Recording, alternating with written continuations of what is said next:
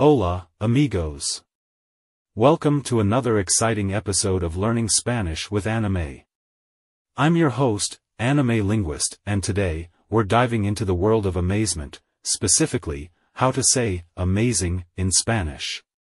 So, first things first, when it comes to expressing amazement in Spanish, we have not one but two magical words, increíble and asombroso. Each one has its own unique charm to convey awe and wonder. But hey, why stick to the basics when there's a whole world of Spanish slang waiting for us? Let's spice things up a bit. Imagine describing something amazing as chido or chévere. It adds that extra touch of flair and makes your expressions uniquely yours. Now, for those who want to level up their language game, let's explore some alternatives to amazing in English. It's time to expand our vocabulary arsenal. These synonyms add depth and nuance to your expressions. You'll be a linguistic samurai in no time.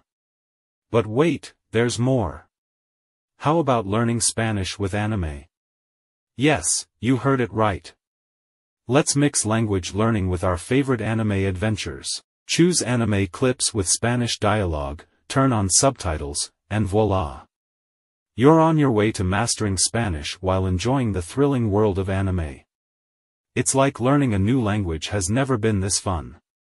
But we're not stopping there, let's turn up the education quotient with anime as a learning tool. Motivation anime with an educational twist, yes, it exists. Combine your love for anime with learning, and you'll be surprised how much you can absorb while having a blast.